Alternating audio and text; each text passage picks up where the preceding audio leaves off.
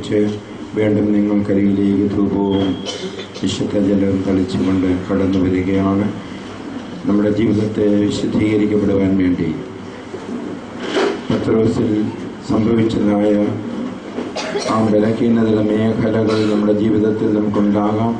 അത് പരിഹരിക്കപ്പെടുവാൻ വേണ്ടി നമ്മളെ തന്നെ വിശദീകരിക്കാനുണ്ട് ഞങ്ങളുടെ കടകളിലെ ജപമാല വിശദീകരിക്കപ്പെട്ടതാകാം എങ്കിലും വീണ്ടും നിങ്ങൾ എടുത്തുകൊള്ളുക.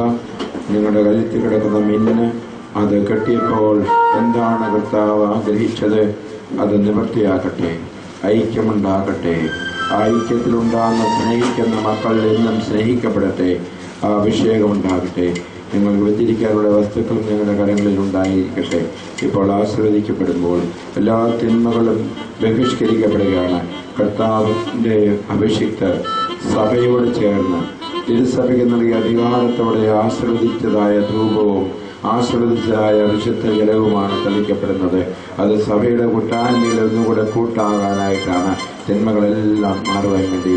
ഒപ്പം നമ്മളിവിടെ ഒരു കാര്യം കൂടെ സന്തോഷത്തോടെ ഇവിടെ പറയുവാനും കൂടെ ആഗ്രഹിക്കുകയാണ്. രൂപം അർപ്പിച്ചതിന് ശേഷം പുരോഹിതൻ വിശുദ്ധ കുർബാന എടുത്തുകൊണ്ട് വരുമ്പോൾ വിശുദ്ധ കുർബാന നിങ്ങളെ അനുഗ്രഹിക്കാനായിട്ട് കർത്താവ് കടന്നു വരികയാണ് പ്രവർത്തിക്കുന്നവനായ എന്റെ പിതാവ് ഇപ്പോഴും പ്രവർത്തിക്കുന്നു. ഞാനും പ്രവർത്തിക്കുന്നു. എന്റെ പിതാവ് ഇപ്പോഴും പ്രവർത്തിക്കുന്നു ഞാനും പ്രവർത്തിക്കുന്നു. പ്രവർത്തിക്കുന്നതിന് ഈശോയുടെ പ്രവർത്തനം ഈ കൂട്ടായ്മയിൽ ഉണ്ടാകാൻ ആഗ്രഹിച്ച്. ദിവ്യകാലം മരിഭവനത്തെയും നിങ്ങൾ ആശീർവദിക്കണം.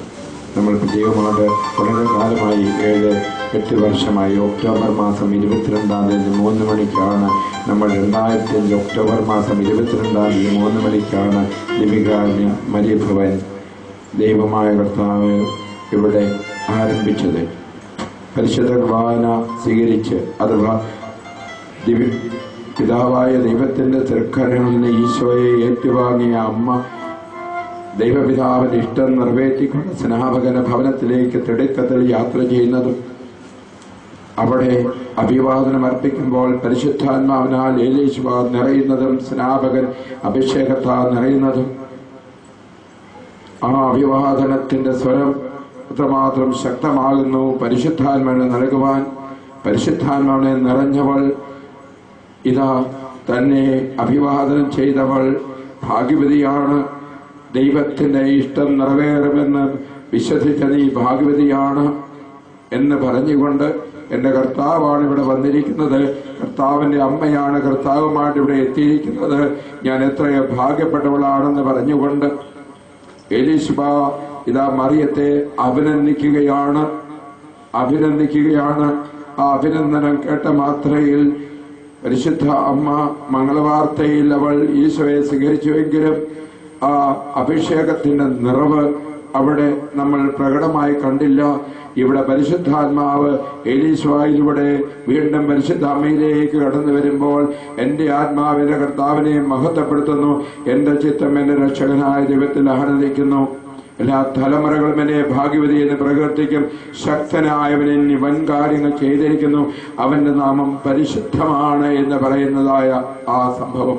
അതാണ് ദിവ്യകാണി മരിഭവനത്തിന്റെ ആ സന്ദേശം അസ്വത്തിൽ ഒന്നിച്ചുകൂടി പരസ്പരം അഭിനന്ദിച്ചുകൊണ്ടും പരസ്പരം ദൈവസാന്നിധ്യം ദൈവത്തെ മാതാവിനോട് ചേർന്ന് ദൈവസാന്നിധ്യം അനുഭവിക്കുവാനായിട്ട് വിശുദ്ധരോട് ചേർന്ന് ശുശ്രൂഷ ചെയ്യുവാനായിട്ട് നിയോഗിക്കപ്പെട്ട ഈ ഭവനം കർത്താവിന്റെ അഭിഷേകത്തിൽ വിശ്വസിച്ചുകൊണ്ട് നമുക്കൊരു നിമിഷം സ്തുതിച്ചുകൊണ്ട് നമ്മളെ തന്നെ വിശദീകരിക്കുന്ന ശുശ്രൂഷയിൽ പങ്കുചേരാം.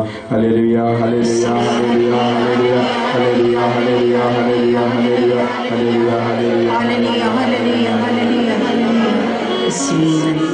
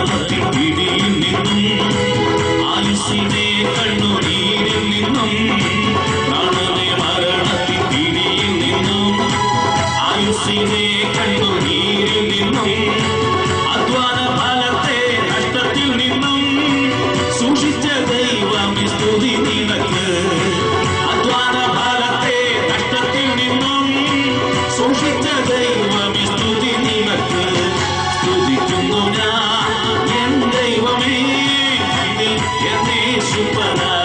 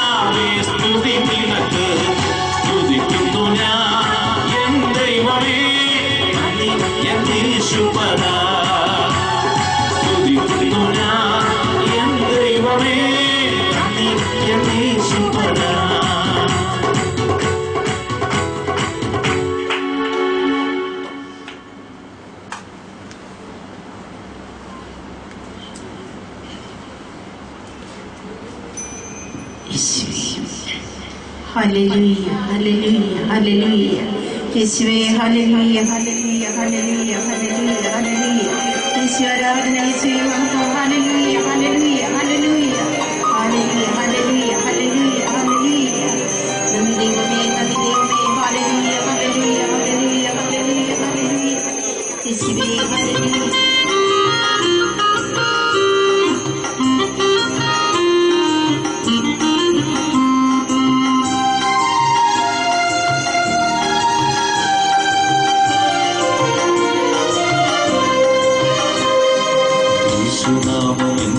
ആശ്രയം